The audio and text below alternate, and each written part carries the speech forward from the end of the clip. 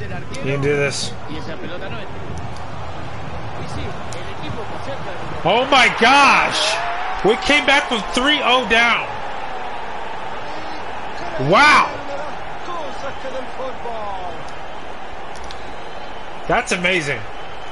We might actually win this.